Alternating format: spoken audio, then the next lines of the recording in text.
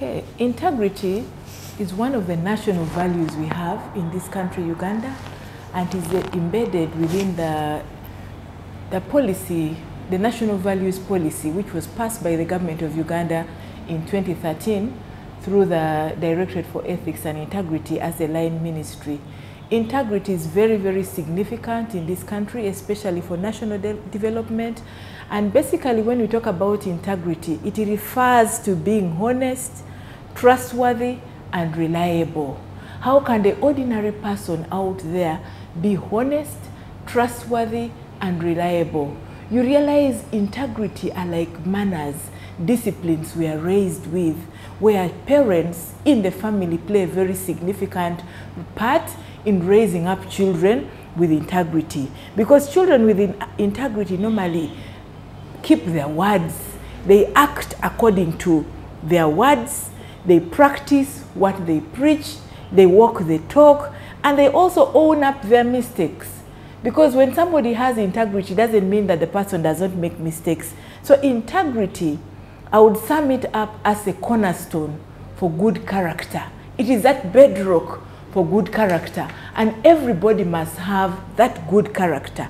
And integrity is important, especially for leaders today, because it is the foundation for trust and respect. If we want to build trust and respect among leaders, we need to promote integrity. And when leaders demonstrate integrity in their actions and words, they are more likely to earn trust from their followers, from their teams, from their stakeholders, because the person with integrity is a trustworthy person. So it's very important to build credibility and also a positive reputation for people with integrity. And when we talk about the qualities of integrity, a person who has integrity in the community out there is dependable and if he follows up through on his own commitments. If he says, I'm coming to the office at 8, he comes at 8 on the dot or a few minutes to 8 so that he is able to keep time. He is honest and down to earth. And being open and honest when communicating to others is very, very important. Many a times when leaders, especially politicians, now that they're preparing for elections, they go out and tell lots of lies. And yet if he told their followers the truth, they would trust him as a dependable leader. Integrity is about holding yourself accountable and even owning up the shortcomings. A person with integrity also makes mistakes. If you know your values and what is expected of you as a leader, then you stand by those. Integrity is very significant, especially in the fight against corruption, because integrity helps to promote transparency, accountability, and uh, anti-corruption.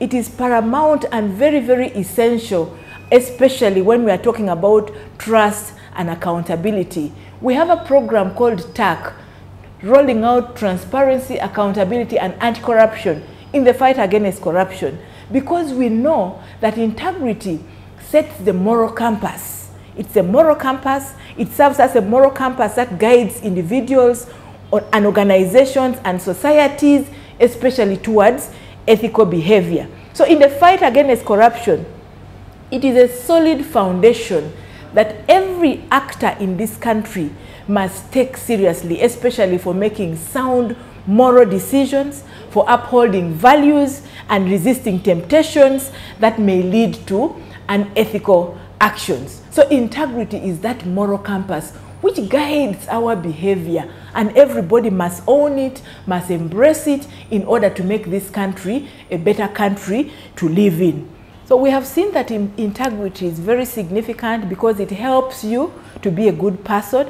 And when you have it, you're likely to make good decisions, you're likely to treat other people with respect, and you're likely to be successful in life. Without integrity, people become dishonest or even sneaky. And when we take it to the fight against corruption, integrity helps to build trust and credibility of the human being. It's fundamental in building trust even in communities, even in institutions, and even in systems. Because by demonstrating integrity in our actions, uh, in our words, in our decisions, you realize that as an individual, you end up building trust from among the people and you end up fostering credibility in the society.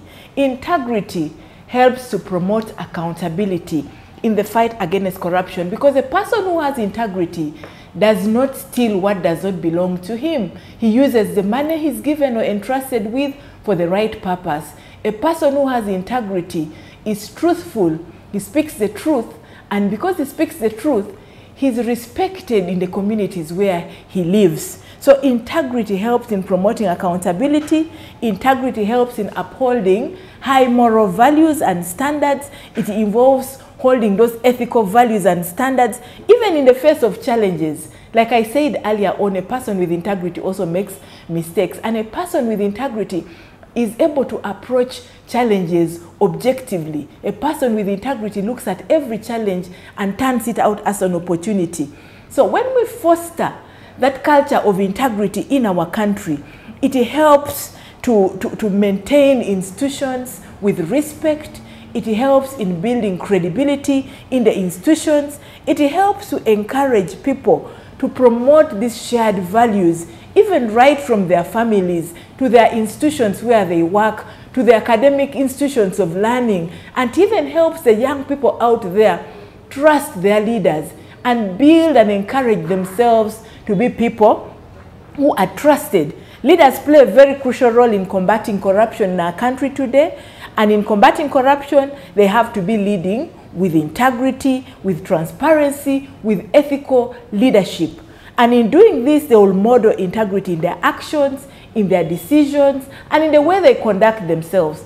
A person with integrity does not cheat. A person with integrity is respectful and is respectable and is held in high um, uh, in high esteem because of how that person moves himself. A person with integrity helps also in enhancing good governance. So when we talk about anti-corruption and good governance, we see that integrity is essential in advocating or advancing for good governance in our country it, because it promotes the other principles of transparency, accountability, and anti-corruption. So when we integrate integrity in our governance systems and policies and frameworks and practices, we see that institutions can come out to strengthen their capacity to prevent acts or incidences of corruption. They are able to detect and able to address corruption effectively because they will have created a more efficient and transparent system which holds or upholds public trust. So integrity is very, very important because it is that tool, like we said, it is that moral compass which is significant, especially in the fight against corruption, and is also significant right from the families because if you raise a child with integrity, then that child will promote values and principles like honesty, like walking the talk, like being truthful and not telling lies. So integrity is very important because it helps us be good people. It helps you to be a good person. And when you have it, you're likely to make good decisions as a leader. You're likely to treat others with respect and you're likely to be successful in life. So with integrity, people become honest. But without integrity, that's when we see people being dishonest and being sneaky and cheating others and so on. Thank you very much.